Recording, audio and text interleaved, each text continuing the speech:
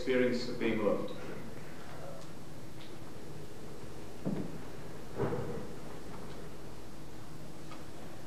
We thank you, loving Creator, for all those good and sincere people who have shown us the joys and disciplines that help us to build up your kingdom, and especially for the people who taught us to love you rather than to be afraid of you.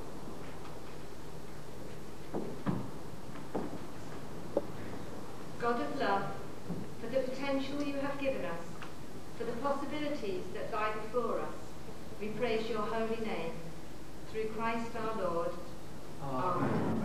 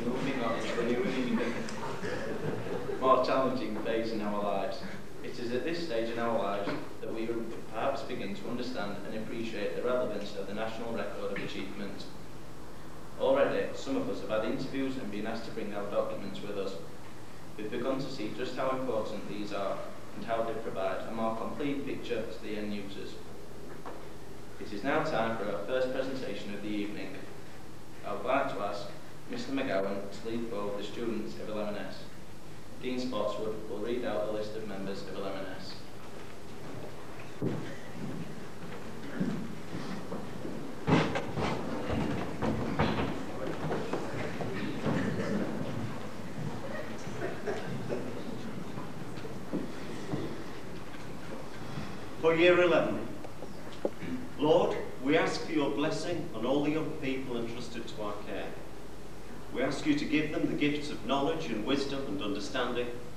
May you be patient and forgiving in your relationships. The students of 11S are Corrine Bailey, Hannah Butters, Matthew Byrne, Michael Chamberlain, Andrew Cook, Rachel Corcoran, Claire Egan, Matthew Ego, Andrew Fairweather, Marie Flaherty, Gemma Fox, John Gilmartin, Daniel Green, Matthew Griffith, Louise Haig, Thomas Haig, Laura Hogg, Sarah Johnson, Melissa McGee, Gronya Martin, Matthew Mason, Catherine Mitchell, Rose Modest, Lee Noonan, Skylar Powlick, Natalie Rogers, Rebecca Shepherd, Siobhan Sherwin, Claire Skidmore, Dean Spotswood.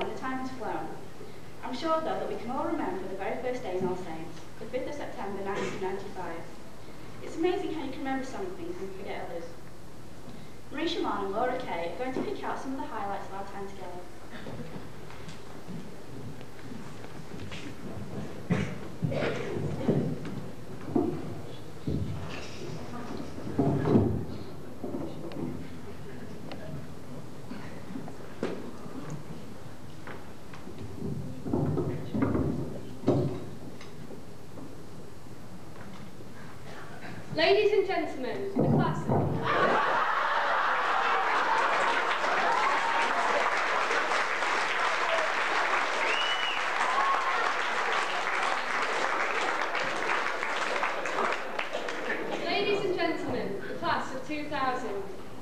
Tuck your shirt in. If I could offer you just one piece of advice for the future, a tidy appearance would be it. Well, that's what I've been told, but multiple science lessons have not succeeded in proving it yet. Enjoy the memories of five years at school. Never mind, you will not understand the fun of school until it's over, but trust your teachers. In 15 years' time, you'll look back at school photos and the yearbook and see how much you could have done and how great it really was. It is not as bad as you think. Don't worry about the future, or worry, knowing that worrying is as effective as trying to write your English assignment on the morning it's due. The real troubles of your school life were the homeworks you never did and the necklaces you were told to remove. But maybe the trials of musical practices were enough to last a lifetime. Be happy. Don't forget the retreats at Middleton Lodge, and don't spend all your bus money at break. Have fun. Remember the hour-long lessons that seem to last a lifetime, and remember old friends, they'll catch you when you fall. Maybe you'll go to uni, maybe you won't. Maybe you'll marry, maybe you won't. Maybe you'll have great fun and live life to the full. Whatever you do, remember this time and the people you know. Hold the memories of this life. The sports teams, the clubs, and the lunch times of mingling. Snow-filled days in the classroom. Accept certain inalienable truths. Prices will rise, the laws of physics may change. But your GCSE grades won't. Remember your friends and the good times you had. And trust me, I'm tucking your shirt in.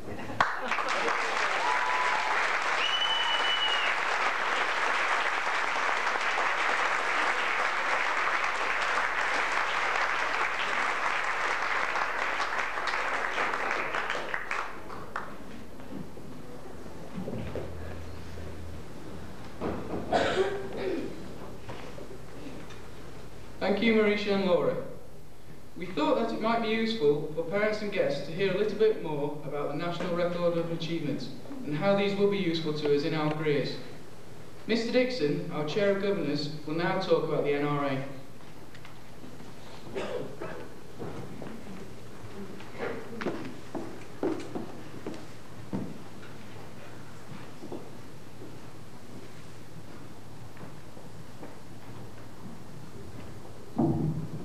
Ladies and gentlemen, sorry, I don't have any tricks with the mic.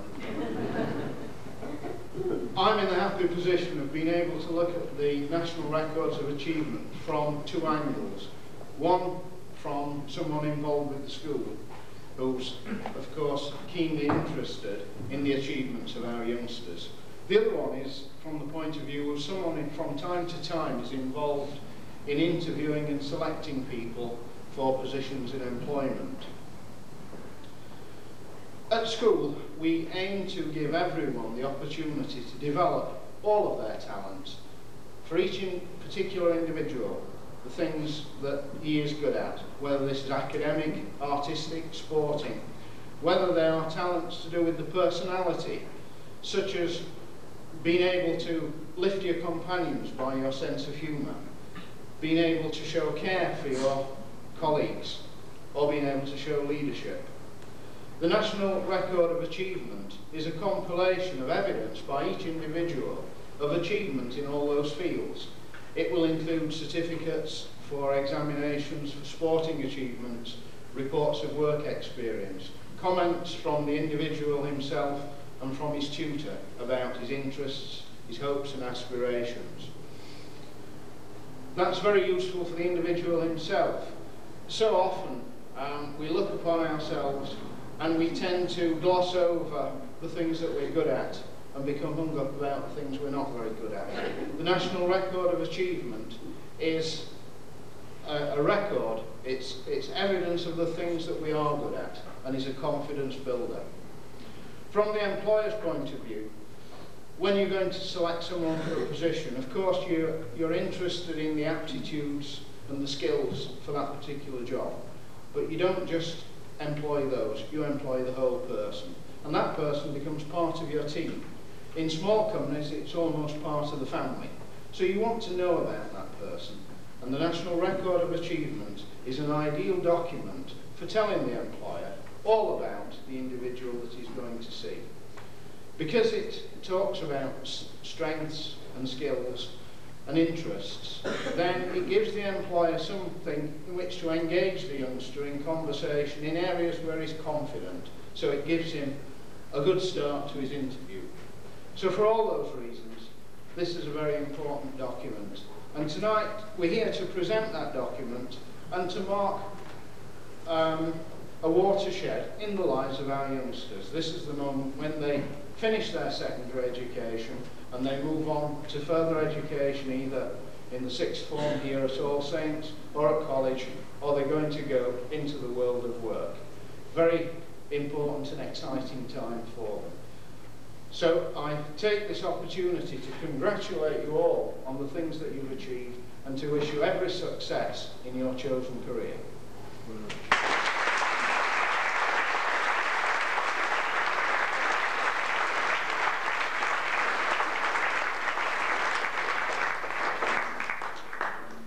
Thank you, Mr Dixon. The second presentation of the evening is to 11H. Would Mr. Brennan please lead out his students? Samantha Smeaton will read out the list members of 11H.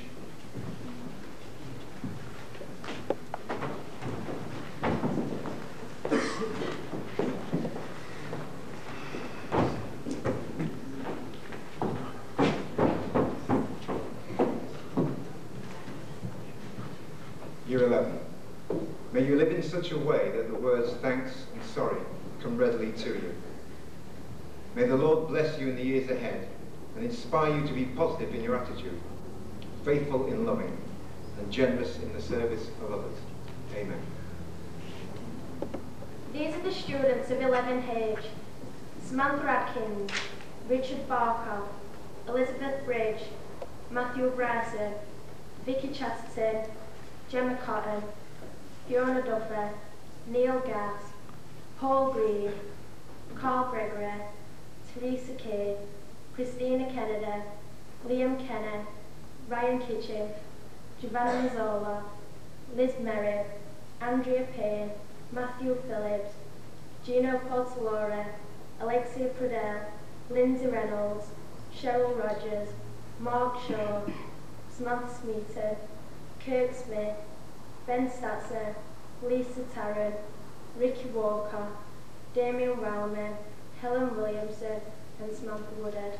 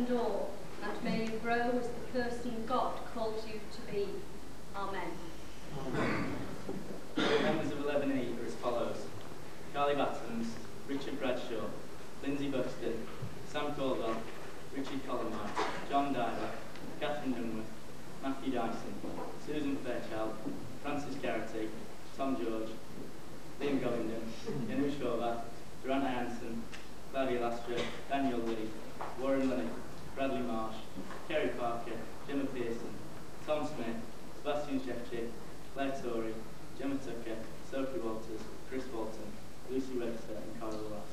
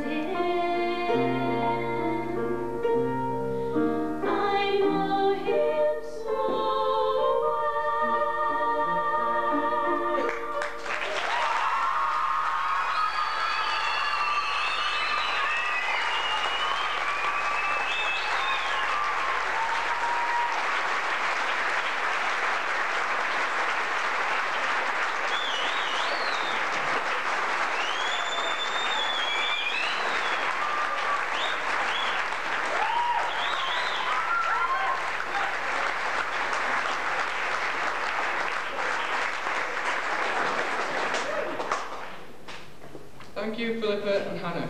I would now like to invite Brother Ivan to read Spirit of Guidance.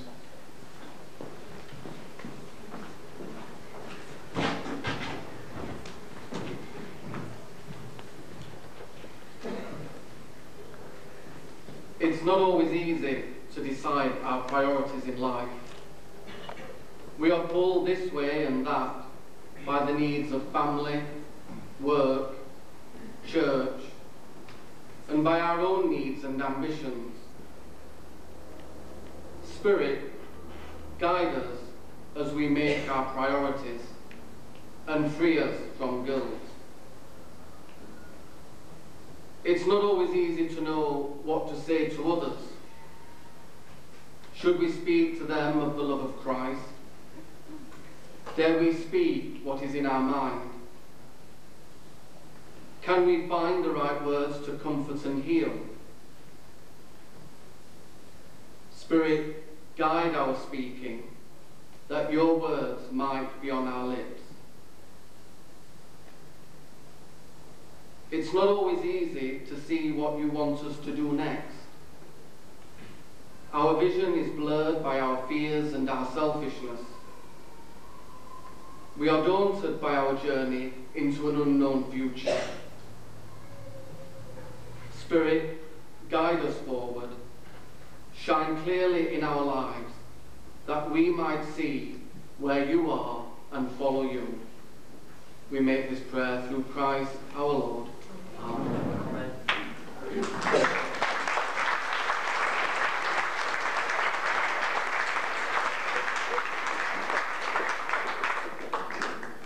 Our talents are many and varied, as can be seen by our next item.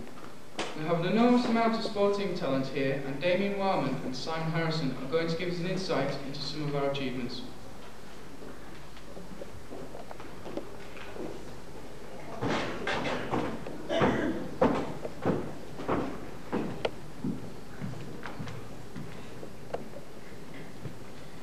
Good evening and welcome to the celebration of our sporting achievements here at All Saints. Yes, tonight we will hear and recognise our achievements in team sports played here by our year group at All Saints, as well as numerous individual achievements. So without further ado, let us welcome Matthew Hill, captain of our Y11 rugby team, onto the stage with this side, with the trophy that we won yesterday.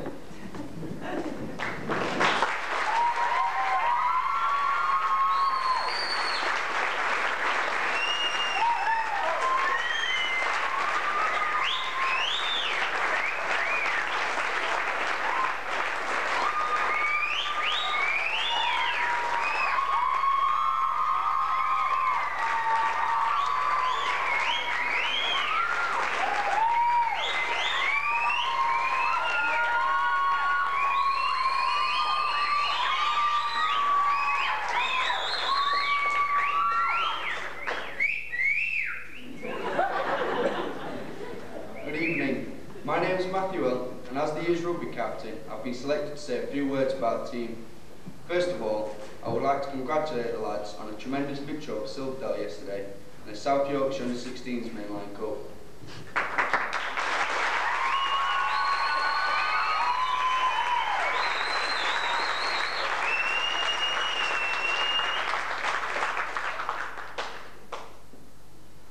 It's an enormous achievement winning it for a second year in succession. However, it took great determination and dedication from the members of the team, as from when the lads first formed in year 8, some years back now, we could barely conjure up a draw, never mind a win.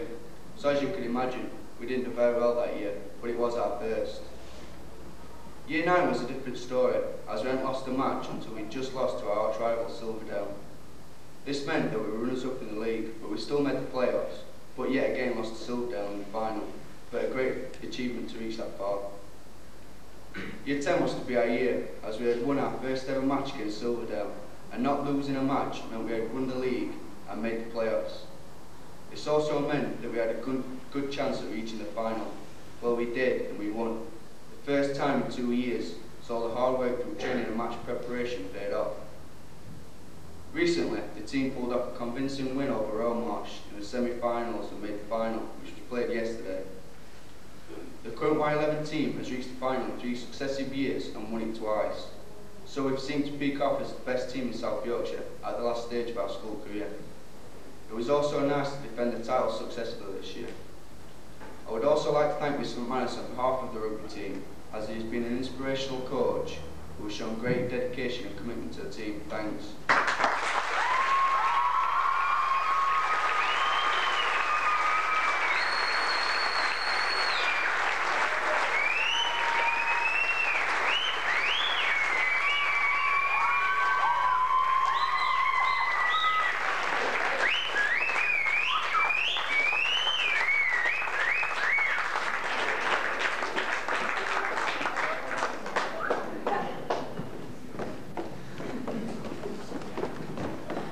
Thank you, Matt, and to the rugby side.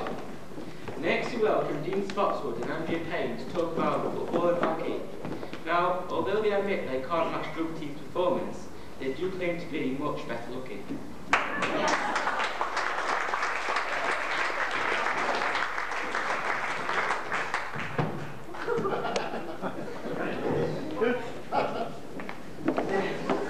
The team started out in Year 7 under the commendable leadership of Miss Hill. However, despite all the expertise and high level of ability in the team, we did not fulfil our true potential. Our second year together was pretty much like the first, but the real action was to come. In Year 9 we had our strongest team ever and much enthusiasm, but this got the best plenty of us when we provoked a small-scale riot at the Sheffield Tournament.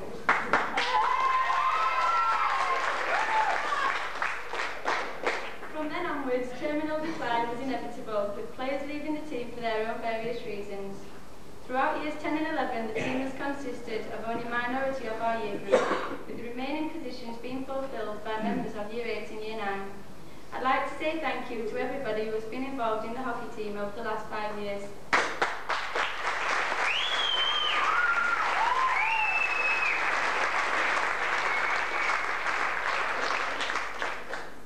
Our school football team began in Y7 under the experienced management of Mr Morton. He brought with him all the creativity and continental skills of Rotherham United.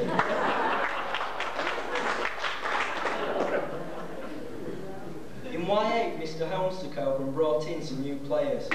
One of these was Kirk Smith, a goalkeeper, who on his debut let in 15 goals.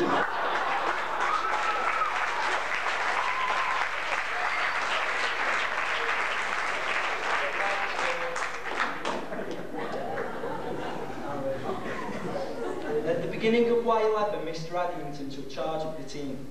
As this was our last school year together, we were entered for the National Schools Cup. We reached the second round of the regional heats, narrowly losing out to a golden goal in extra time. I'd like to thank everyone who's been a part of the school team throughout the five years together.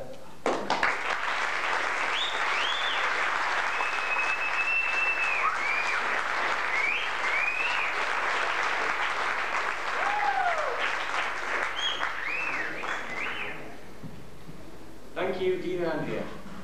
Finally, we'd like to welcome Natalie Rogers, captain of our netball team, onto the stage with the netball side.